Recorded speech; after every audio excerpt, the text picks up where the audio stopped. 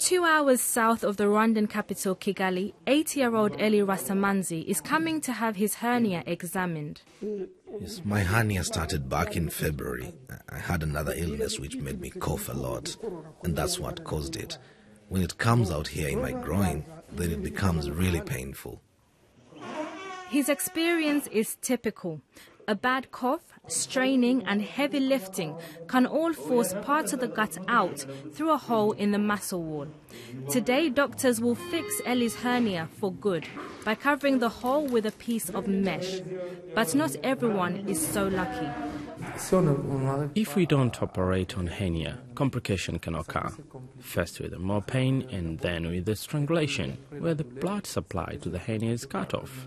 This can lead to the blood poisoning, and if the patient isn't operated on, he can die. The surgeons here at Nyamata Hospital have to rely on donated meshes because each one costs around $30. But there could be a much cheaper option.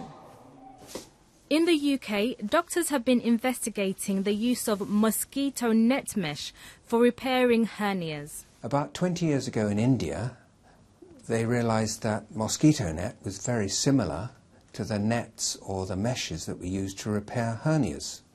A huge roll of mosquito net for about 10 or 20 dollars can repair 4,000 hernias.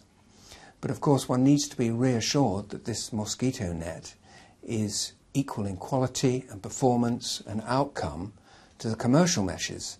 Andrew and his colleagues looked at the meshes with high powered microscopes and put them through rigorous testing to see how they compared. You would not be able to tell the difference. It has the same physical properties. So, in all intents and purposes, it's the same, but it costs a fraction less. These results are now being combined with long term data about the mesh, which show that even 10 years later, none of the patients have seen their hernia return.